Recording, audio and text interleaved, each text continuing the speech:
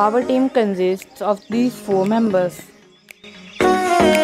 The problem is that sometimes while cooking, we mix up the ingredients of another recipe to the recipe we are making. For example, I am cooking Shahi Paneer, but I end up mixing the ingredients of another recipe. Our solution, the recipe ingredient organizer, will solve the problem of mixing up of ingredients. This will consist of compartments having the ingredients in their respective orders to be put in the recipe. As of now, we are in design stage, so we are thinking to make it in a bottle. As we got this idea in recent days, so our team is still in design and thinking stage.